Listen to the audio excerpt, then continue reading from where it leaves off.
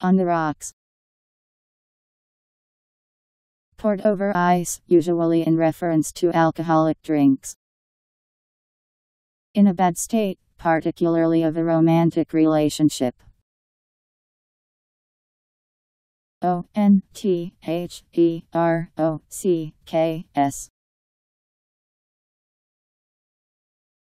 On the rocks.